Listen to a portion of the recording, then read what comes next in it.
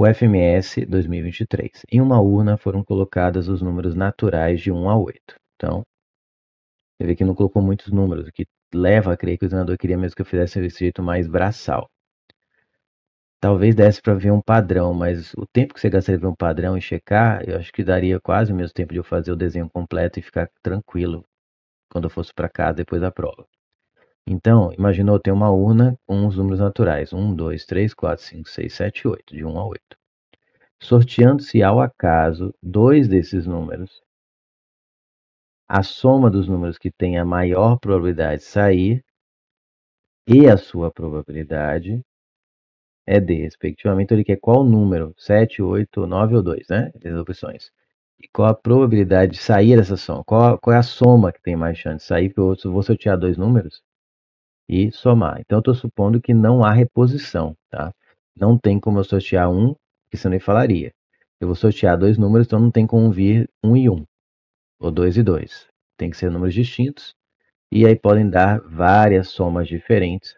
E eu tenho que saber quantas, qual o número que, qual a soma que dá mais vezes, e qual a probabilidade desse número que dá mais vezes, qual a probabilidade dele sair.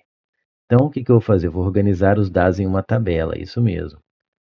Vou colocar aqui, ó, 1, 2, 3, 4, 5, 6, 7, 8. É como se fosse uma matriz, ó. 1, 2, 3, não, 2, para ser, muito. 5, 6, 7 e 8. E vou fazendo aqui os casos. A verdade, você pode fazer se quiser. Tabela, mais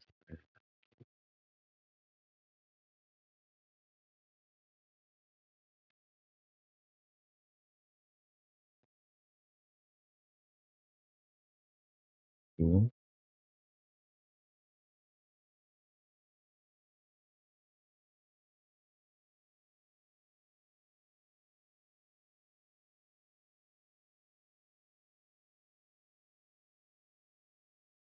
Então, isso vai ajudar.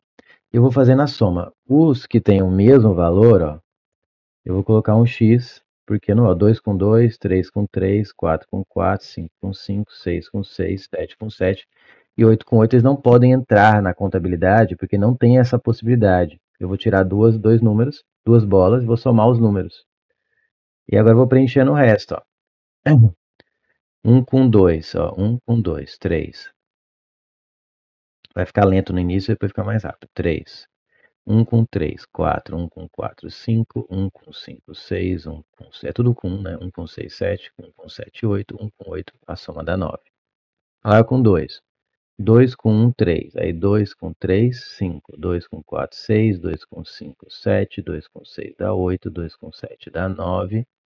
2 com 8. O que, que você percebeu? Que o de baixo, exceto quando tem um x, é sempre 1 a mais do que o de cima. Vamos fazer só mais um. 3 com 1 dá 4, 3 com 2 dá 5, 3 com 3 pula, 3 com 4 dá 7, 3 com 5 dá 8, 3 com 6 dá 9, 3 com 7 dá 10, 3 com 8 dá 11. 1 a mais. Então agora não precisa ficar olhando todos, é só colocar 1 a mais. Ó. Embaixo do 4 vem o 5, embaixo do 5 vem o 6. Aqui, cuidado, só esse aqui tiver embaixo do x você faz. Ó. 4 com 3 dá 7, é 1 a mais do que o anterior também. Aqui vem 9, aqui vem 10, aqui vem 11, aqui vem 12, aqui vem 6, 7, 8, 9, aqui vem 11, 12, 13, 6 aqui, ó, 7, 8, 9, 10, 11, aí pulo 12, aqui vem 13, 14, aqui vem 8, 9, 10, 11, 12. Pode conferir a conta, 7 com 5, 12, ó. É só enxergar um padrão. 13, 14, 15. E finalmente 9, 10, 11, 12, 13, 14, 15, 16. Mira aqui. Agora, qual eu sei? Eu vou sair olhando para ver qual o número que saiu mais? Não. Basta ver o número que aparece em todas as filas. Pega todas as filas e vê qual o número, o número que aparece em todas. Pode perceber ó, que o 2 nem aparece. O 3 aparece só aqui e aqui. O 4 aparece aqui e aqui. O 5 aparece quatro vezes. O 6 aparece quatro vezes. Sempre na diagonal, ó. Então, quem tiver a maior diagonal, como cada número só pode aparecer cada fila uma vez, aquele que aparecer em mais filas, né, pode ver que o 8 não aparece na, ele aparece da primeira até a fila 7. O 9 é o que aparece da fila 1 até a fila 8, ele aparece em todas as filas, porque é a diagonal maior aqui, ó. O 10 aparece da fila 2 até a fila 10. O 10 não aparece na fila 1, na fila do 1, ó. ó fila 1, fila 2, fila 3, lá em linha, linha 1, linha 2, linha 3. O 11 menos ainda, o 12 só começa a aparecer na linha 4, tá vendo? E vai até a linha 8, o 13. Então, quem que é o número que aparece mais vezes? É esse que pega, que é o 9, que é o único que aparece em todas as linhas, na 1, na 2, na 3. Né? Ele aparece em todas as linhas. Por eu marco ele. Laranja. Né? Pode ver que o 9 aparece 1, 2, 3, vai ser 8 vezes, né? Porque aparece nas 8 linhas. 3, 4, 5, 3, 6, 7, 8 vezes.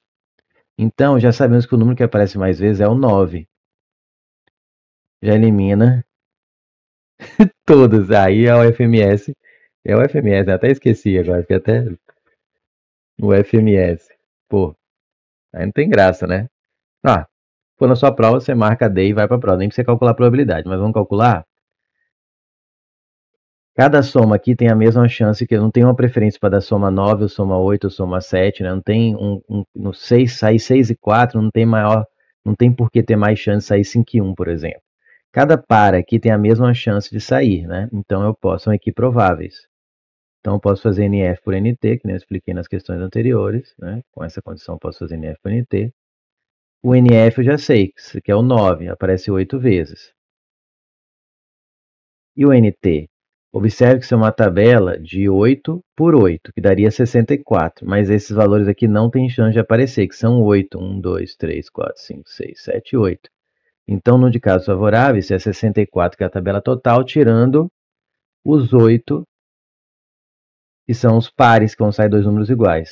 64 tirando 8 dá 56. 56 é exatamente 7 vezes 8. Então, se eu dividir por 8 aqui fica 1. Se eu dividir por 8 aqui fica 7. Por isso que a probabilidade, como esperado já, né, já que não tinha outra alternativa, é de 1 em 7, de sair o 9. Gabarito D de dado.